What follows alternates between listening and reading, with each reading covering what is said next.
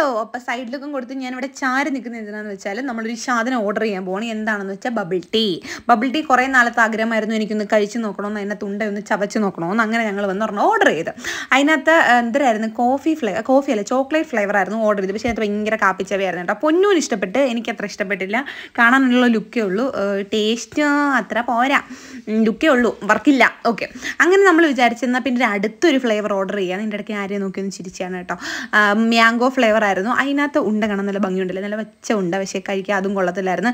എന്തോ എന്തോ ഒരു ഒരുമാതിരിയിലെ ഒട്ടുപാലൊക്കെ വായിലിട്ട് ചവച്ച ഇങ്ങനെ ഇരിക്കും. അതുപോലാണ് എനിക്ക് ഫീൽ ചെയ്തത്. ചിലപ്പോൾ എനിക്ക് മാത്രം തോന്നിയതായിരിക്കും. ഞാൻ അപ്പോഴേ പോലും കൊടുത്ത് അവൻ പിന്നെ കഴിച്ചോളും. തിരിച്ച് കടിക്കാത്ത എന്തോ അവൻ കഴിക്കുന്നുണ്ട് അവന് കൊടുത്ത്. അവൻ എന്തെങ്കിലും കിട്ടിയാൽ മതി എന്നുള്ള കുടിയാണ്. കണ്ടോ? ഓ ആസ്വദീര് കണ്ടോ?